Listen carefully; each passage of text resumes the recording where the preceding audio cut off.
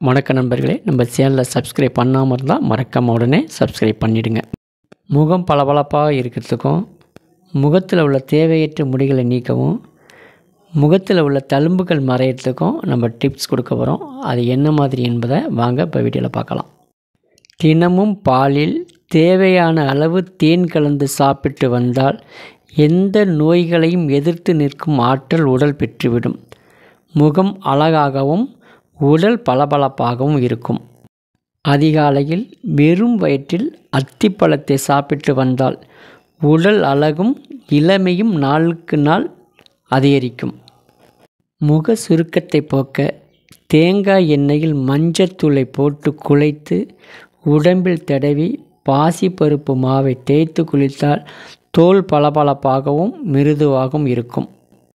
தினமும் முகத்தில் ஆலிவ் எண்ணெய் பூசி வர முக சுருக்கம் நீங்கி பளபளப்பாக மாறும்.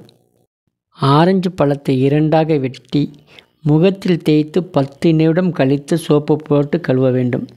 தினம் இவ்வாறு செய்து வந்தால் முகம் பளபளப்பாகவும் இளமையுடனும் இருக்கும். உலர்ந்த ரோஜா இதழ்களுடன் சிறிது பன்னீரும் சந்தனமும் அரைத்து முகத்தில் தடவ தோலில் நிறம் பொலிவு பெறும்.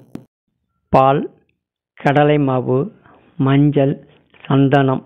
அனைத்தையும் கலந்து முகத்தில் தடவி குளித்தால் சருமம் அழகாகவும் பளபளப்பாகவும் மாறும்.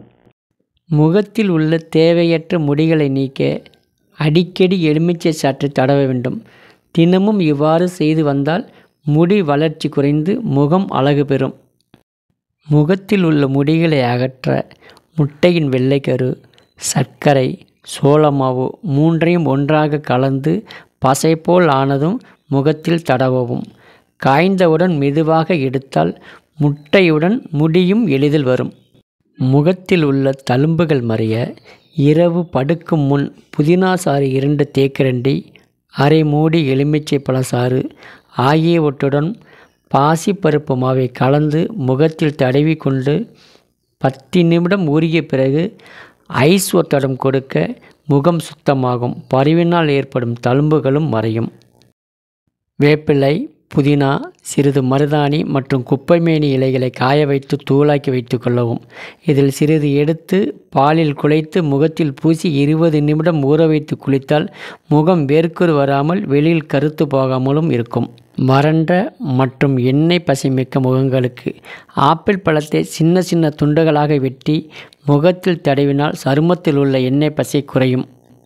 தோல் நீக்கி ஆப்பிள் பழத்தை நன்றாக மசித்து அதனுடன் சிறிது தேன் ஓட்ஸ் பவுடர் ஆகியவற்றை கலந்து அந்த கலவையை முகத்தில் பூசி சுமார் அரை மணி நேரம் ஊற வைத்து விட்டு முகத்தை கழுவவும்.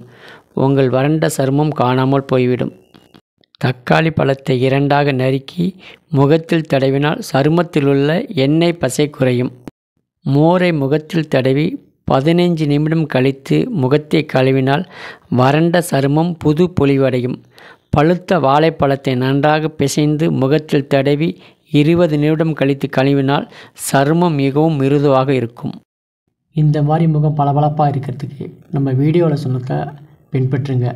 இந்த வீடியோ பிடிச்சிருந்தால் லைக் பண்ணுங்கள் ஷேர் பண்ணுங்கள் கமெண்ட் பண்ணுங்கள் மறக்காமல் நம்ம சேனலை சப்ஸ்கிரைப் பண்ணிடுங்க நன்றி வணக்கம்.